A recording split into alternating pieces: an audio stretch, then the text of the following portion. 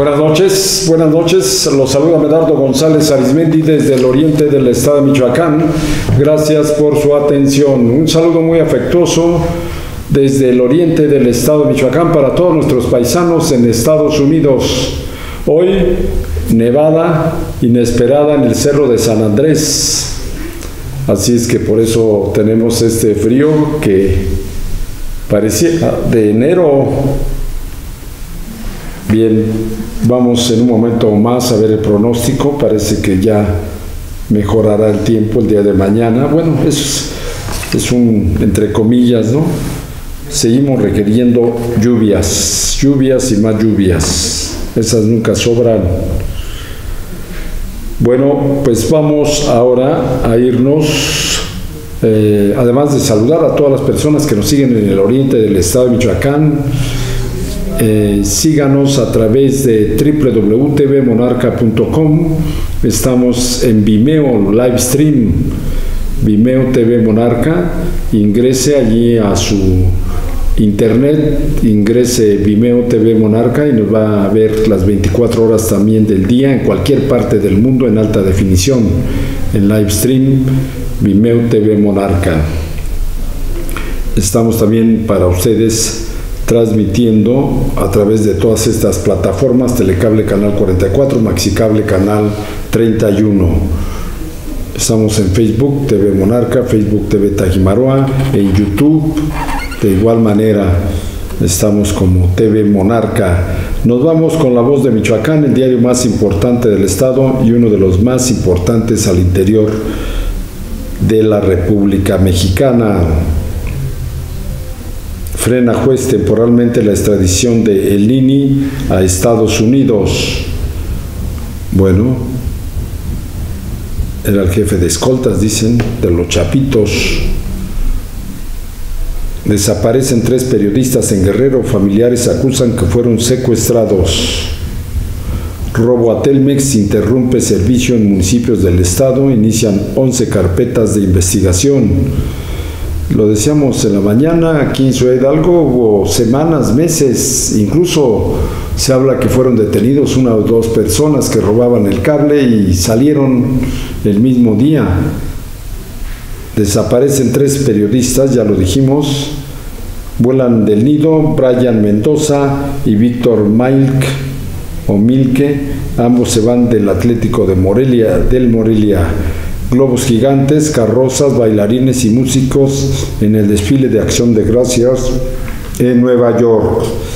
Uno de los días más importantes junto con Navidad y Año Nuevo en Estados Unidos. Bomberos retiran enorme roca de tres toneladas que bloqueaba carretera en Zitácuaro. Michoacano Samuel Molina gana oro y bronce en para para Panamericanos Santiago 2023. Docentes denuncian acoso laboral del directivos de la primaria Virrey de Mendoza en Morelia. Encuentran un feto humano en la terminal de autobuses de Morelia.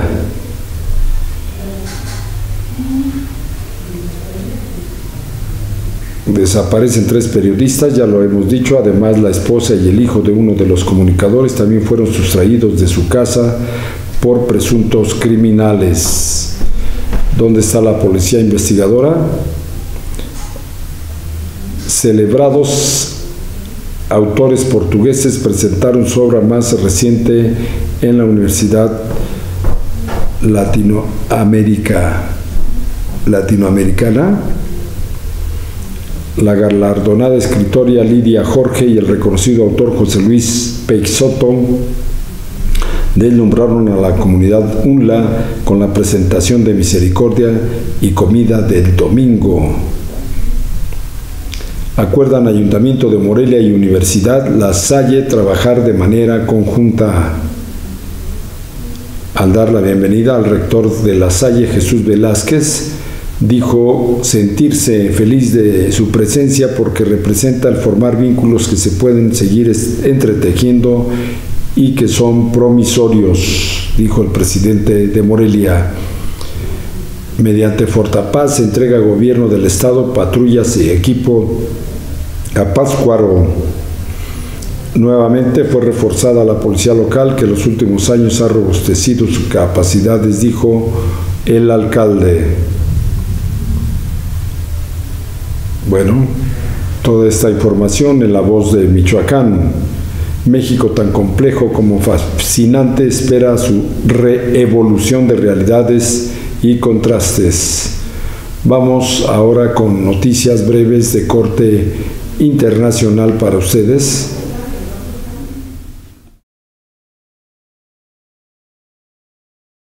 En noticias internacionales breves, la Organización Mundial de la Salud ha pedido información adicional a China sobre un repunte de enfermedades respiratorias en el norte del país. Una solicitud que Pekín no comentó de momento públicamente. Bueno, a ver ahora qué pasa.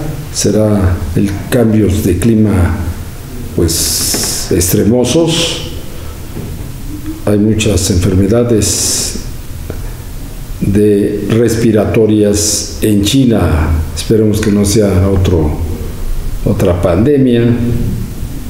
Ejército israelí lleva a la prensa a ver túneles bajo hospital de Gaza, donde los terroristas se escudaban de los ataques israelíes en hospitales y en ambulancias. Fiscalía en España pide nuevo, nueve años para el brasileño Dani Alves, acusado de violación. ¿Se acuerdan este futbolista que vino el año pasado a la universidad y que regresó a España por sus trapitos y allá se queda, lo quedaron? Daniel Novoa asumió la presidencia de Ecuador. Vamos a ver de qué corte es. Daniel Novoa fue posicionado, posesionado perdón, el jueves por el Parlamento como nuevo presidente de Ecuador para un periodo de 18 meses en los que deberá lidiar con la violencia del narcotráfico y dificultades económicas en Ecuador. Naufragio o trata de migrantes venezolanos desaparecen en ruta de San Andrés. Indígenas ganan poder en Brasil, pero los desafíos del racismo persisten. China descarta patógenos inusuales o nuevos en repunte de enfermedades respiratorias. Incidente en Dublín tras ataque con cuchillo que dejó cinco heridos, entre ellos varios niños. Novoa llama a combatir la violencia y la miseria al asumir la presidencia de Ecuador. Madres de la Plaza de Mayo reciben apoyo de activistas en Argentina. Y nos vamos ahora con el Excelsior y la voz de Michoacán para ustedes, que cada minuto se está actualizando la voz de Michoacán y el Excelsior en sus páginas web. Duelo entre México y Panamá en Liga de Naciones ya tiene fecha. Crimen organizado recluta menores migrantes en Ciudad Juárez. Laura Pausini revela detalles sobre su intimidad con su pareja. Pues son cosas de ellos dos, no nos interesa. Mexicano logra histórico segundo lugar en la baja 1000. Pues sí, contra grandes corredores de todo el mundo que traen supercarros. Samuel García, el rival es Morena y le vamos a ganar. Desde Matamoros, Tamaulipas, Samuel García, precandidato a la presidencia de la República por Movimiento Ciudadano, aseguró que el rival a vencer es Morena, ya que el frente está frito. Samuel García se reúne con empresarios en Coahuila, da calca matona a automovilistas. Lo hecho en Nuevo León se puede hacer en todo el país, dice Samuel García va envalentonado por la gran penetración que ha tenido su esposa y él en las redes sociales, aunque no garantizan votos, cuando menos votos seguros. China no detectó patógenos inusuales o nuevos relacionados con alza de enfermedades respiratorias. Pues ellos producen una gran cantidad de pollos y gallinas que comúnmente y cíclicamente han manifestado evoluciones de sus enfermedades respiratorias de estos pollitos y pollotas. Culiacán luce solo tras la detención del Nini y siguen los operativos. Bueno, haitianos demuestran cuánto saben de México en concurso y ganan dinero. En TikTok circuló el video de un concurso entre migrantes haitianos quienes compitieron para ver quién sabía más sobre México y su cultura. Bueno, eso suele suceder. Muchos paisanos nuestros para conseguir la visa o el permiso y, o la ciudadanía, pues estudian mucho sobre la historia de los Estados Unidos. Fíjense que los americanos en promedio son menos eh, cultos cívicamente hablando, conocedores de su patria, de su revolución independentista, eh, héroes nacionales. La mayoría no se interesa por eso allá en Estados Unidos. Delfina Gómez, gobernadora de Morena por el Estado de México, las, movilizaciones sociales disminuyeron los primeros dos meses de su gobierno. La baja de las protestas sociales se aduce a la primera audiencia ciudadana que, que se realizó por parte de Delfina Gómez, según reportó el Consejo Nacional de Inteligencia durante la reunión de evaluación cierran el paso al cráter del Nevado de Toluca por Fuerte Nevada. Les decía yo que también aquí en el Cerro de San Andrés nevó. Veracruz se pinta de blanco, así se ve el pico de Orizaba. Así es que, ¿cómo estará el Popo y el Isla? O el Iztaccíhuatl, dicen. Desaparece señor de 61 años al dirigirse a su trabajo sus familiares piden su apoyo. Jorge Morales Ramírez, de 61 años de edad, desapareció el pasado 16 de noviembre cuando salió a su trabajo a bordo de un vehículo marca tipo Fiat color rojo. Bien, eh, vamos a irnos a el pronóstico del tiempo, a ver qué nos dicen de este frillecito, se quita, no se quita, la lluvia al parecer ya se quita el día de mañana, pero el frío no.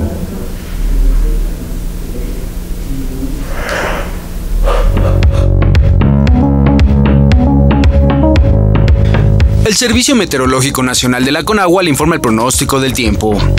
Este día el frente número 11 se extenderá con características de estacionario sobre el sur del Golfo de México y la península de Yucatán, en interacción con un canal de baja presión sobre la sonda de Campeche y con un canal de baja presión en el sureste mexicano, producirán lluvias puntuales muy fuertes en Tabasco y Chiapas, así como chubascos en Oaxaca, Veracruz, Campeche, Yucatán y Quintana Roo. La masa de aire polar asociada al frente modificará sus características térmicas, por lo que se prevé un gradual incremento de las temperaturas máximas en gran parte del país. Sin embargo, durante la mañana y noche se mantendrá ambiente de frío a muy frío sobre el norte, noreste, oriente y centro del territorio nacional, con heladas durante la madrugada del viernes en zonas altas de dichas regiones. Asimismo, por la mañana prevalecerá viento de componente norte con rachas de 50 a 70 kilómetros por hora en el istmo de Tehuantepec, la costa sur de Veracruz y el golfo de Tehuantepec, disminuyendo en el transcurso de la tarde. Por otra parte, la primera tormenta invernal se desplazará durante la mañana sobre Coahuila y el sur de Texas, Estados Unidos de América, manteniendo condiciones para la caída de nieve o aguanieve en las sierras de Coahuila y Nuevo León, además de probabilidad de lluvias y chubascos en el noreste de México. Se prevé que durante la tarde la tormenta invernal deje de afectar a la República Mexicana. Finalmente, canales de baja presión en interacción con el ingreso de humedad generado por la corriente en chorro subtropical ocasionarán lluvias y chubascos sobre entidades del occidente, centro, oriente y sur del territorio mexicano, además de lluvias puntuales fuertes en zonas de Michoacán y Guerrero.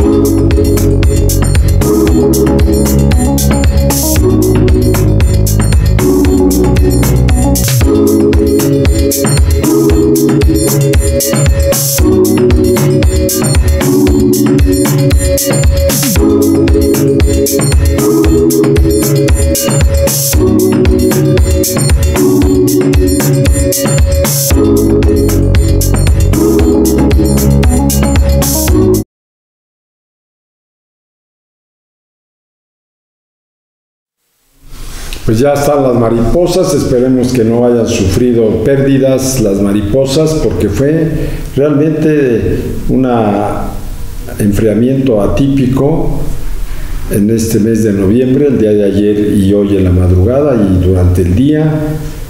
La nevada en el Cerro de San Andrés, recordemos que allí llegan mariposas monarca al Cerro de San Andrés, esperemos que no haya habido muerte masiva como sucedió hace unos seis años. Bien, tenemos información de Áporo en el oriente del estado de Michoacán, curso de dibujo artístico, eh, lo organiza el ayuntamiento de Áporo y Casa de la Cultura. Te invitan a que te inscribas, aprenderás mediante teoría y ejercicios prácticos diferentes técnicas de dibujo a lápiz y a color. También conocerás los distintos materiales de 15 años en adelante, los sábados de 4 a 6 de la tarde. Inicio el próximo 2 de diciembre y concluye el 27 de abril. Mensualidad 300 pesos. Materiales, todo el curso 550 pesos. Informes Casa de la Cultura de Áporo y al WhatsApp, ahí lo tenemos en la parte inferior, 443 1080 167 curso de dibujo para adultos en Áporo todos los eh, sábados de 4 de la tarde, de 4 a 6 de la tarde. En más información, en Jungapeo se sigue trabajando por el bienestar de este municipio con mucha disposición y de manera muy activa en representación de la edil Norma Yáñez, el licenciado Osmar Vicente Gómez Ponciano, secretario municipal de la actual administración en Jungapeo, sostuvo una reunión con autoridades educativas de cada rincón del municipio, en la cual estuvieron presentes profesores de distintos niveles académicos educativos. Esto con el propósito de establecer acuerdos y lineamientos a través del sector educativo que garanticen el bienestar del alumnado jungapense tras la prolongación de dengue que se ha venido desarrollando en el municipio buscando estrategias y mecanismos de detección y disminución del mismo. Seguiremos siendo aliados de la búsqueda inalcanzable del bienestar de la ciudadanía del municipio, así lo afirmó Osmar Vicente. En otra información, aquí en Ciudad Hidalgo, la beca Benito Juárez es una gran oportunidad para tus hijos. Obtén más información y tramítala fácilmente en las oficinas de desarrollo económico. Estamos disponibles de lunes a viernes de 8 de la mañana a 3 de la tarde. La dirección es Altos del Mercado Municipal. Estas imágenes son de jóvenes que van allí y se acercan para tramitar su beca Benito Juárez en las oficinas de desarrollo económico. Bien, continuamos con más. Estuvo aquí el candidato a, a la diputación local por Morena es este vamos a ver si aquí podemos Carlos Herrera. Vamos a ver no encontramos ya. En un momento se las tenemos estas imágenes. Ahí lo vemos al ingeniero Carlos Herrera quien fue candidato contendiente contra Ramírez Bedoya y eh, fue secretario de gobierno con el ingeniero eh, Silvano Aureoles, ha sido presidente municipal de Zitácuaro en dos ocasiones, donde ha impulsado mucho la infraestructura de este municipio de Irimbo. Bueno, hoy es candidato ya registrado oficialmente eh, a través del partido Movimiento Ciudadano, tiene ya su constancia de precandidato y eh, pues hasta el momento fue el único que se inscribió en forma legal y en tiempo y esta mañana por allí tuvo una rueda de prensa con los medios de comunicación de esta localidad de Ciudad Hidalgo en el oriente del estado. Bueno, en Morelia se inicia el 13 Recolectrón Universitario este viernes 24, hoy y sábado 25 de noviembre de 9.30 de la mañana a 4 de la tarde en el centro de acopio, estacionamiento de Ciudad Universitaria a un costado de Radio Nicolaita. Ahí le reciben a usted todos los equipos digitales, electrónicos. Vamos a cooperar con la limpieza ambiental. Sábado y domingo, viernes y sábado es decir, hoy y mañana, de 9 a 30, 9 a 30 de la mañana a 4 de la tarde, lleve todos sus equipos que ya no le sirvan, desde un tocadisco o fonógrafo hasta lo último en tecnología. Bueno, hay que apoyar esta recopilación de eh, equipos que pueden sobre todo este, envenenarnos al cielo abierto, pues despiden gases y si están confinados, si no están confinados bajo tierra, hay problemas. Así es que, por favor, llévelo con expertos y en este caso, allí en la Universidad Michoacana de San Nicolás de Hidalgo, ahí junto al estacionamiento, a un costado de Radio Nicolaita. En más información educativa, el TEC de Ciudad Hidalgo, el día de hoy, en las instalaciones de la Universidad Tecnológica del Oriente Michoacán, TOM, se llevó a cabo la ponencia Tendencias de la Industria 4.0. Realmente son importantísimos este tipo de de este, eventos, como es el caso de que mucha gente está con la carrera trunca, acérquese allí a la UBAC y de alguna manera lo apoyan para que termine su carrera profesional. El ponente destacó la importancia de la colaboración entre instituciones educativas y el sector productivo para impulsar la innovación y la competitividad en el ámbito de la industria 4.0 con ese sentido, resaltó el de los alumnos de TICS, Tecnologías de Informática y Comunicación Social, como agentes de cambio, bueno, y creadores de soluciones tecnológicas que respondan a las necesidades y demandas de la sociedad. El puente invitó el ponente invitó a los asistentes a aprovechar los recursos y oportunidades que ofrecen las instituciones participantes, tales como talleres, proyectos, concursos, para fortalecer su formación académica y profesional. Bueno, eh, felicitamos, saludamos a todos los paisanos que viven en Estados Unidos y también a todos los americanos, norteamericanos, estadounidenses que hoy celebran el Día de Gracias allá en los Estados Unidos. Son de los pocos días que la mayoría de personas pues no trabajan en cuando menos tarde noche para festejar el Día de Gracias. Casa Michoacán agradece al personal, mesa directiva y amigos y personas que depositaron su confianza en los servicios que ofrecemos y a la nutrida audiencia que asistió a la programación cultural que ofrecemos durante todo el año.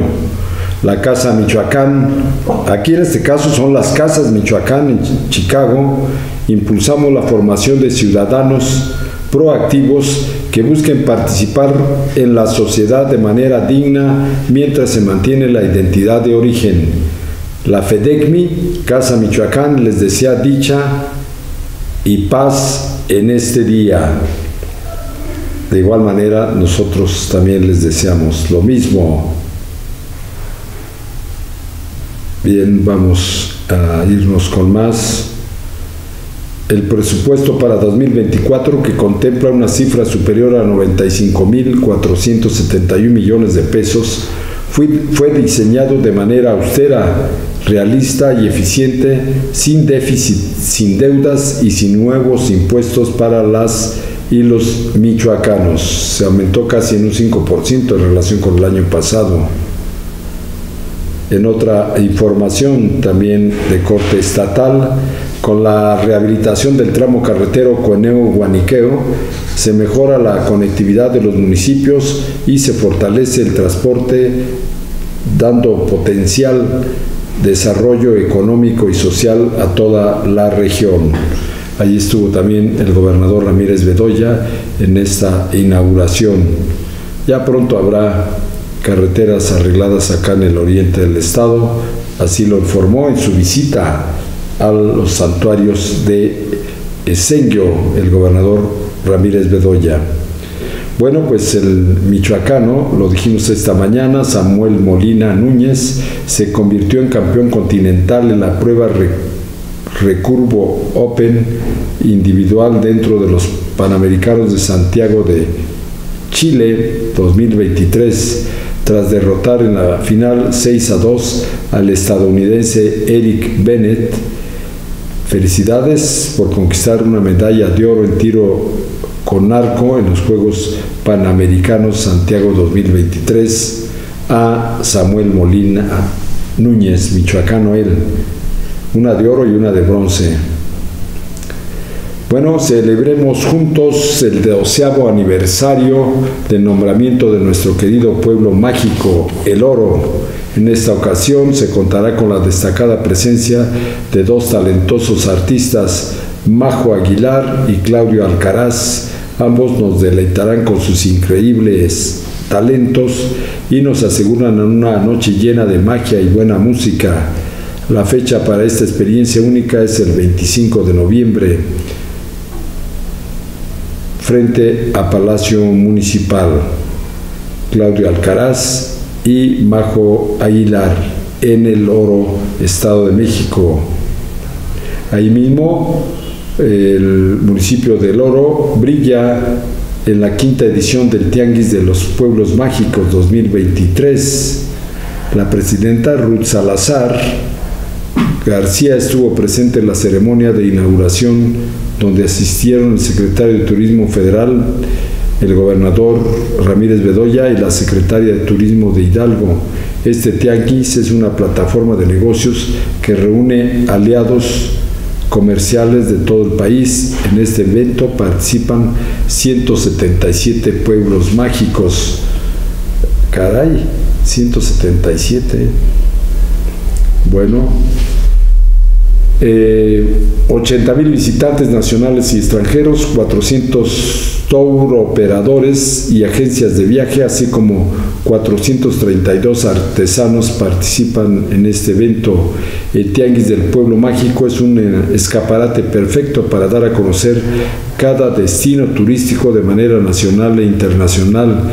Es una oportunidad para resaltar la riqueza cultural, histórica y turística del oro y promover el intercambio comercial y la colaboración entre distintos actores del sector turístico. En Morelia, Michoacán, con tu apoyo lo podemos lograr. Únete a la segunda edición del Día para Dar, Plaza del Carmen, este miércoles 29 de noviembre, segunda edición, Día para Dar en el marco de la celebración del Día Mundial de la Generosidad y Solidaridad, artículos para Centro de Terapia Educativa, pintura blanca, artículos de limpieza, artículos para educación física, balones de fútbol, básquetbol y voleibol, insumos de panadería, despensas, medicamentos, paracetamol, ketorolaco, diciofenaco, ah, no es diclofenaco. Eh, hojas bond, plumones para pizarrón y resistol. La hora es de 10 de la mañana a 6 de la tarde, Plaza de la República o Plaza del Carmen en el centro histórico de Marabatío.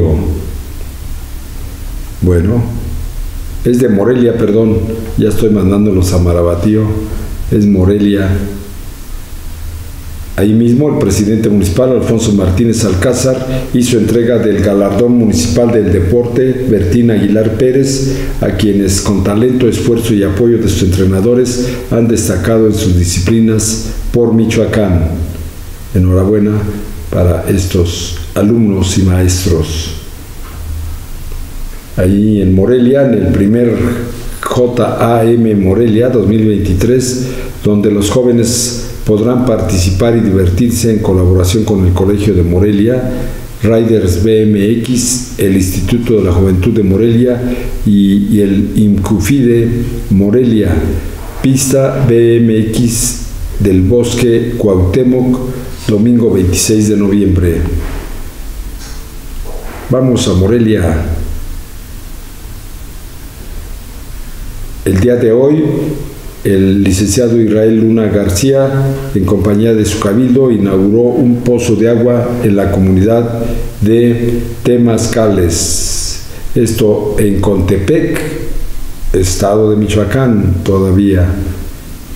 Ahí tienen con invitados especiales y bajo la ligera lloviznita allí estuvo el presidente municipal acompañado de su cabildo, de su esposa, de seguridad pública, así como todos los responsables del campo de la agricultura en Marabatío. En Irimbo, el presidente municipal, Fernando Palomino, apoya con una unidad de transporte escolar a estudiantes de la Escuela Secundaria Técnica Industrial número 159 de la comunidad de San José de Magallanes para trasladarse al municipio de Ciudad Hidalgo. Esto, pues, los que les toca estudiar acá en, en la ciudad de Hidalgo y también para los que les toca estudiar en eh, escuelas cercanas hay ese apoyo de transporte. Por otro lado, en Nangangueo, Protección Civil mantiene en estado de alerta por presencia de constantes lluvias. Una zona de baja presión con potencial ciclónico se mantiene bajo observación por personal de protección civil.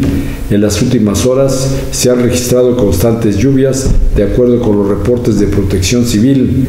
Se han estado monitoreando ríos, represas, puentes, puntos de riego, así como los rondines en los diferentes puntos del municipio. Destaca, entre otras, vamos a ver,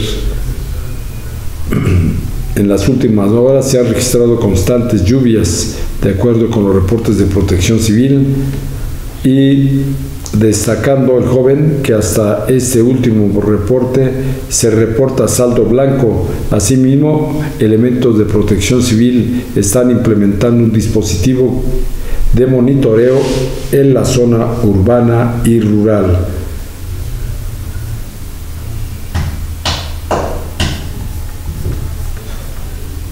En la primaria José María Morelos del Rincón de Soto, esto en el municipio de Áporo, se está construyendo la techumbre de la cancha de usos múltiples gracias a una exitosa combinación de recursos del programa federal La Escuela es Nuestra. Este proyecto ha recibido un impulso significativo con una inversión de 200 mil pesos a través del programa La Escuela es Nuestra Además, queremos reconocer el esfuerzo conjunto, ya que el municipio está aportando la construcción de los muros y los padres de familia están realizando una valiosa contribución, demostrando su compromiso con la educación de nuestros niños. Queremos expresar nuestras sinceras felicitaciones a la maestra Brianna Berruecos, directora de la escuela, José María Morelos del Rincón de Soto, por su labor y gestión en todos los recursos. Su dedicatoria es clave para llevar a cabo proyectos que mejoran significativamente el entorno educativo de nuestros estudiantes. Bien, tenemos más información que darles en Jungapeo. Vamos al encendido del árbol de Navidad este próximo primero de diciembre y trae tu esfera, decórala y cuélgala. Esto en Tuxpan se eh, cuelga en el árbol de Navidad las eh, series navideñas. Así es que vayamos con toda la familia este próximo primero de diciembre por la noche a colgar nuestras cartitas, ¿no? A los santos reyes o a Santa Claus y a ver la decoración de Navidad allí en la, eh, en la plaza principal. Aquí nos dice este comunicado, puedes poner tu nombre, el de tu familia, llevar tu esfera, el de tus hermanos, el de tu novia, de tu mascota o lo que tú gustes. Lleva tu esfera decorada este primero de diciembre a las 7 de la noche al encendido de nuestro árbol de Navidad en el jardín principal en Jungapeo. Bueno, ahí mismo en Jungapeo nos comparten esta información que el gobierno municipal de Jungapeo felicita a su titular, la edil Norma Yáñez, al posicionarse y ser considerado de nueva cuenta en esta ocasión por parte de la revista Campaigns and Election México como una de las mejores presidentas municipales del país en su edición especial 2023, tras un arduo trabajo lleno de resultados que le ha caracterizado desde el comienzo de su actual gobierno y que hoy respalda su trabajo al frente de la transformación de Jungapeo. Bueno, ahí está la portada de esta revista, donde califican como una de las mejores presidentas del país a la presidenta de Jungapeo, Norma Yáñez. Bueno, el Oro celebra el doceavo aniversario de nombramiento de Pueblo Mágico. En esta ocasión se contará con la destacada presencia de dos talentosos artistas, Majo Aguilar y Claudio Alcaraz. Ambos deleitarán con sus increíbles talentos y nos aseguran una noche llena de magia y buena música. La fecha para esta experiencia es este próximo fin de semana, 25 de noviembre. No dejes pasar la oportunidad de disfrutar de la música en un entorno único y especial, frente al Palacio Municipal en el Oro Estado de México. Bien, en Agagueo se crea el CRUM, CRUM Municipal, Salud y Vanguardia, bajo ese eslogan. Es como ha estado trabajando el licenciado Gerardo Sánchez Sánchez. Por ello se ha comprometido en formar el órgano normativo y operativo cuyo ámbito de acción se circunscribe como institución de colaboración ciudadana, por ello fue confirmado el CRUM con los diferentes sectores, comités que permitirán contar con una mejor operatividad en favor de la ciudadanía. Se le da participación a los ciudadanos en las tomas de decisiones. Felicidades. Tenemos información de Marabatío. Marabatío recibe protección civil de Marabatío, donación de equipos para rescate de Fundación 911 de Coahuila. Esta mañana el alcalde Jaime Hinojosa Campa expresó su reconocimiento y solidaridad a los elementos de protección civil de Marabatío al encabezar la donación de equipos especiales de bomberos y protección para el Cuerpo de Protección Civil por parte de la Fundación 911 de Ciudad Acuña, Coahuila. Esta importante donación al municipio que recibieron de primera mano el tesorero municipal Roberto Cruz Montoya el oficial mayor Gerardo Torres y el director de la vivienda Efraín Alcanta Rubio, cuyo costo estimado de esta primera donación de equipos se aproxima a los 500 mil pesos y consiste en equipos de protección personal de bomberos, estructurales de rescate, mangueras hidráulicas, compresores de oxígeno, mascarillas y entre otros equipos de primeros auxilios, al hacer la entrega formal, el edil brindó su agradecimiento a la Fundación 911 por el equipo entregado, al tiempo que resaltó que seguirán con la gestión para lograr conseguir más apoyos que estarán siendo entregados eh, e integrados a los bienes del municipio y en apoyo a las labores de los héroes que constantemente arriesgan su vida para salvaguardar la integridad y protección de la población. Enhorabuena para estos bomberos y de, la, y de protección civil. En Zitácuaro, con el respaldo del gobierno de Michoacán, Toño Istláhuac entregó nuevamente más de 50 apoyos a través del programa de bienestar de mujeres con cáncer y cérvico uterino invasor.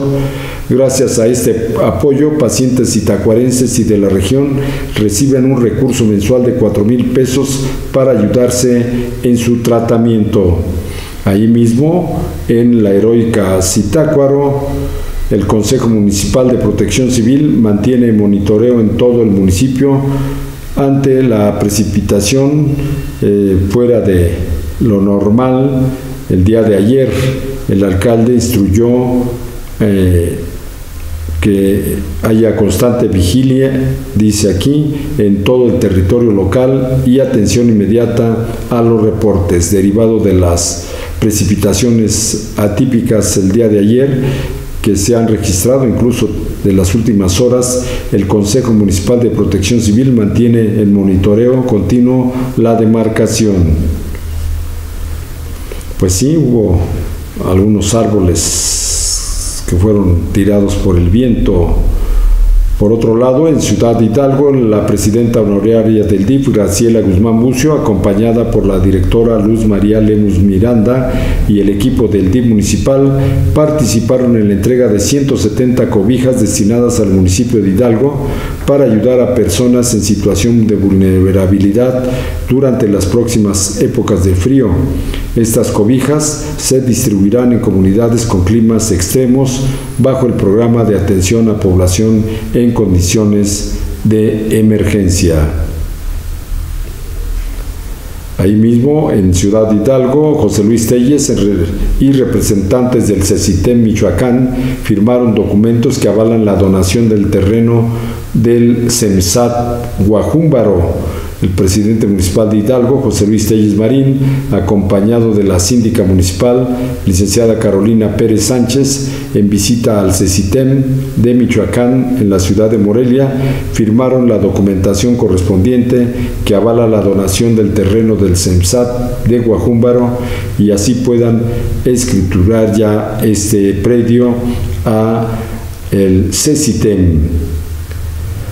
En más del municipio de Hidalgo, la síndica Carolina Pérez Sánchez inauguró la exposición pictórica 15 por 3 del artista Héctor Paltrow, allí con, acompañada de regidores y del propio artista que fue reconocido en ese momento por su labor cultural y artística en nuestro municipio.